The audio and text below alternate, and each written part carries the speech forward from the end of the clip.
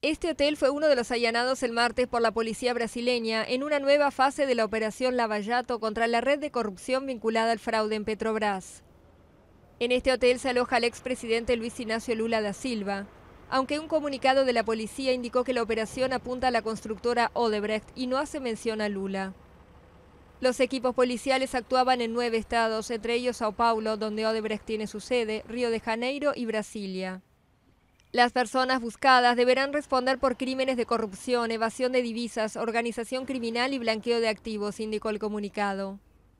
Las investigaciones han provocado casi 100 condenas judiciales, desde directivos de la petrolera hasta los dueños de las mayores constructoras del país.